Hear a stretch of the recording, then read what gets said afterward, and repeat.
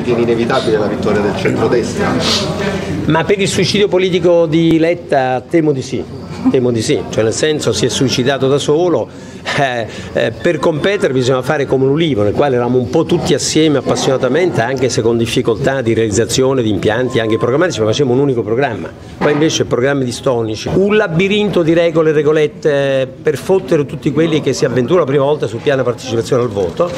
e come dire, sì già è tutto stabilito perché il fatto che ci sia questo tipo di meccanica elettorale in cui eh, soprattutto i grandi partiti mettono al primo posto i loro leaders eh, beh, è ovvio che quelli già sono eletti, gli altri invece contenderanno il territorio con grandi enormi difficoltà. E quindi è una parvenza di democrazia quella che stiamo vivendo in questo periodo, molto molto piccola democrazia. Discutessero tutti nelle varie scuole, provveditorati, il sabato libero a scuola. Cioè io domani farò una riunione anche a Benevento, secondo me dovrebbe essere applicata in tutta Italia. Peraltro io fui l'autore a tanti tanti anni fa, appunto come primo firmatario di questa proposta di legge il sabato libero a scuola. Oggi esistono tutte le condizioni,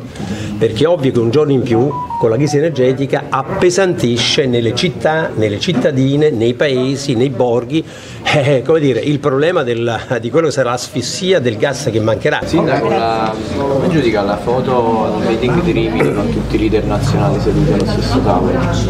Ma a parte il fatto devo dire che insomma, se uno fa una cosa seria invita tutti, anche quelli come me magari. Io sono stato invitato quando ero ministro, oggi invece no, non me ne frega nulla, devo dire la verità, quindi non è che